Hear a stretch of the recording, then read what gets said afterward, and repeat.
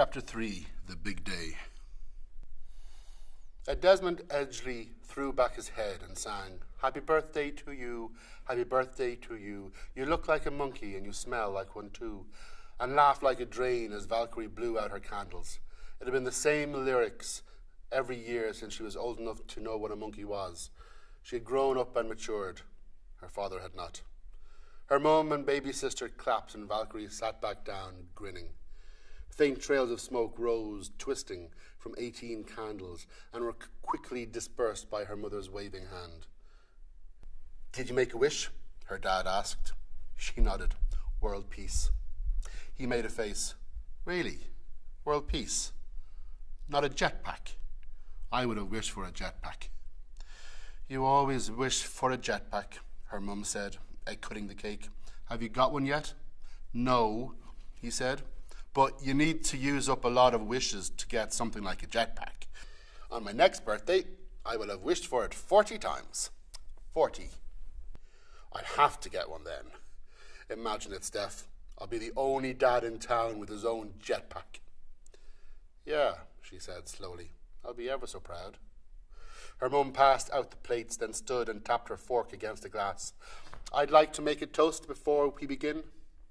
Toast, said Alice. Thank you, Alice. Today is a big day for our little Stephanie. It's been a big week, actually, with the exam results and the college offers. We've always been proud of you, and now we're delighted beyond belief that the rest of the world will be able to see you the way we see you, as a strong, intelligent, beautiful young woman who can do whatever she puts her mind to. Toast, said Alice wisely. You've been in our lives for 18 years, and you have brightened every single day. You've brought joy and laughter to this house, even when times were tough. Her dad leaned in. It is not easy being married to me. And today is also the day that Gordon's estate passes into your name. You are now the sole custodian of his books, the owner of his house, and the spender of his money. And even though you've known that this was coming since you were 12 years old, you never slackened off.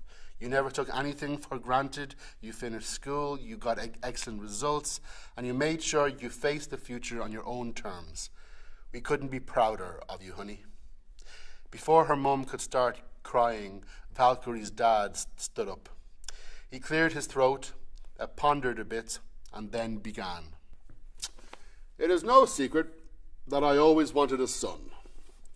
Valkyrie howled with laughter, and her mum threw a napkin at her husband, who waited until things had calmed down before continuing.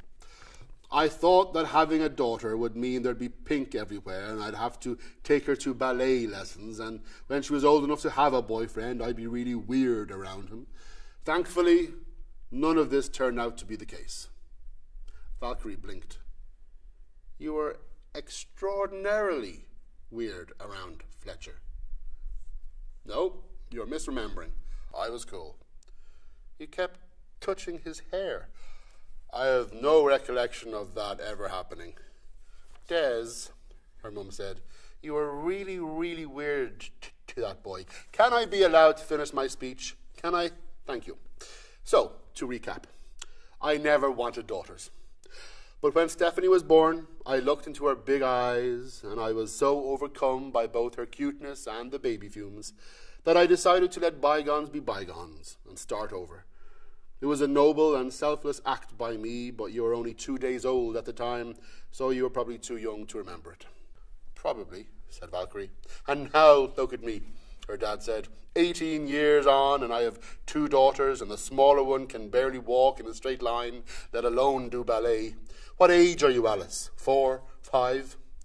Eighteen months, said Valkyrie's mum. Eighteen months, and what have you to show for it? Do you even have a job? You're a burden on this family. A burden, I say. Toast, Alice responded, and squealed as her dad scooped her up and did his facehugger walk around the kitchen. I'm pretty sure that when that speech started, it was about you, Valkyrie's mum said, but then he got kind of distracted. Uh, Des, don't you think it's time to give Steph her birthday present? Present! Alice yelled as her dad held her over his shoulder by one ankle. Fair enough, wifey. I suppose it can't be put off any longer. Steph, Now that you have large sums of money, you can, of course, buy one of these brand new if you so wanted. But I like to think that a second hand one, bought by your parents, would have a sentimental value that you just wouldn't be able to get in a. Valkyrie sat up straight. You got me a car? I didn't say that. She stood. Oh my God, you got me a car. Again, I didn't say that. It might not be a car. It might be a drum kit. Is it a drum kit? No, it's a car. Toast! Alice yelped. Ah, yes, sorry. Valkyrie's dad said, setting his youngest uh, daughter back on the ground. She wobbled and fell over and started laughing. You are so dumb, her dad murmured. Valkyrie ran to the front door, yanked it open, and froze. There, in the driveway, was a gleaming Ford Fiesta, and it was orange. She'd been in an orange car before. One of Skulduggery's spare cars had been orange, but this, this, she couldn't help herself. It looks like an Oompa Loompa, she blurted. Do you not like it? her mum asked at her shoulder. I asked for the colour specifically, her dad said. The salesman said it wasn't a good idea, but I thought it might be extra safe, and there was the possibility it could glow in the dark. It doesn't, though. If you want a different colour, we can bring it back. I mean, the salesman will probably laugh at me, but that's okay. He was laughing enough when I drove off in it. She walked up to the car, traced her fingertips along the side. The interior was dark green, just like an Oompa Loompa's hair. She looked back at her parents. You got me a car. You got me a car. Her mum dangled the keys. Do you like it? I love it.